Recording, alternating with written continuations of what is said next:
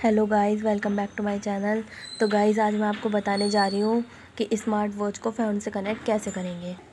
तो गाइस, इसके लिए हेरीफाइन ऐप है, इसको हम डाउनलोड कर लेंगे और इस पर अब हम जाएँगे।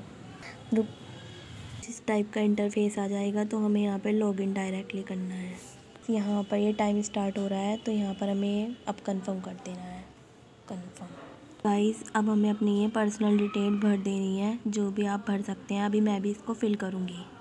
तो गाइस सारी इन्फॉर्मेशन फिल कर ली है। अब इसके बाद आगे चलते हैं। अब गाइस ये कंफर्म पर हम क्लिक कर देंगे। अब गाइस को इस टाइप का इंटरफेस आपके सामने आ जाएगा। तो अब हम यहाँ से बैक ले लेंगे। अब गाइस देखिए, ये आ जाएगा। तो आपको गो टू साइट पर क्लिक करना है और इसके बाद ये जो है अलाउ कर देना है। तो गाइज़ अब हमें यहाँ पे वॉच के ऑप्शन पे क्लिक करना है और अलाउ करना है। वाइल यूजिंग दिस ऐप तो गाइस देखिए, कुछ इस टाइप का इंटरफेस सामने आ जाएगा। ये मेरी वॉच का नेम आ रहा है। तो गाइस अब हमें यहाँ पे क्लिक कर देना है। ये मैंने अपनी वॉच को ऑन कर लिया है।